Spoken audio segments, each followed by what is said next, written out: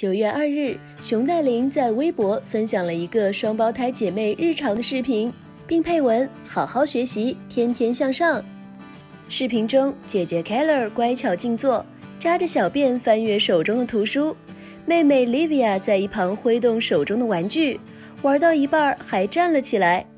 两姐妹一静一动，画面十分温馨幸福，萌萌的，非常可爱。非凡娱乐，时。